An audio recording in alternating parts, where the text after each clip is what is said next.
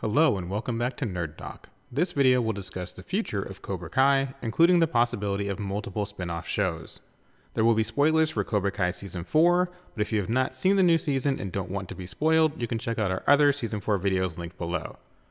If you have your own ideas for a spin-off series, leave them in the comments below. Cobra Kai Season 4 is number one on Netflix this week, and the creators have already finished filming Season 5. We've already talked about where Season 5 may be heading, but the creators have made it clear that the series won't end there. We're going to wait a little bit longer before we talk about Season 6, but the creators have teased possible spin off shows that can follow some of the Cobra Kai characters. Cobra Kai has been all about the Cobra Kai dojo versus the Miyagi Do dojo, so a spin off series would need to go in a different direction. You'll need someone from Cobra Kai to anchor the series, and it seems unlikely that would be Daniel, Johnny, or Kreese. One of them could pop up here and there, but they're unlikely to be the series lead. One of the kids in Cobra Kai would likely be the main focus, so let's start there. A new series could follow Sam or Miguel in college. You could even have them both go to the same school so that the relationship drama continues in the new series. Plenty of universities have karate clubs in their sports programs, so the All Valley tournament can be replaced with collegiate sports competitions. You can even add Johnny or possibly Daniel or Kreese as the coach of the team if you want to add more of the Cobra Kai cast. Another possible spin off series option is to go international. This could also be a potential season 6 plotline, and they're doing this a little bit in season 5 with Miguel in Mexico, but we're talking a full on best of the best international karate competition. Once again, you can bring any one of the current roster of kids along for the ride, with any one of the senseis as the coach of the team. This kind of show would focus more on the fights, but still offer room for relationships much like Cobra Kai.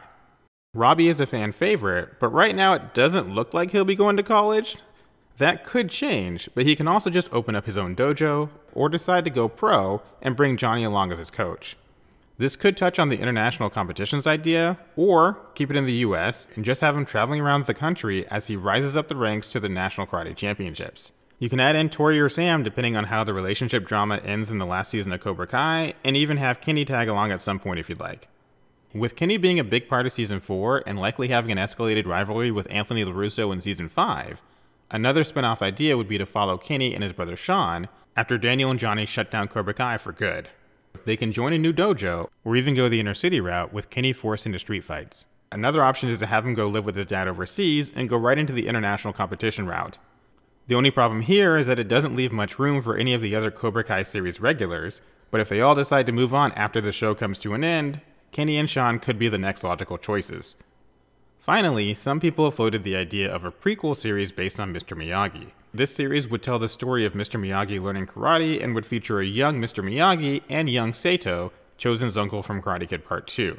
This would give you the same Cobra Kai vibe, but in Japan with a battle between Miyagi-Do and Sato Karate. The obvious issues here are casting younger versions of these iconic characters, and having the series take place with an almost entirely Japanese cast living in Japan, but all speaking English since it's unlikely the series would be 100% subtitled. Leave a comment and let us know which characters you think would be included and what kind of plot you want to see out of the spin off show. That wraps up this video. Thank you for watching. If you enjoyed the video, please don't forget to like, subscribe, and share with someone who loves Cobra Kai.